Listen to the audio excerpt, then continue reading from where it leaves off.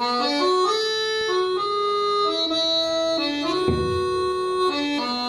queria agradecer a oportunidade de estar aqui com vocês.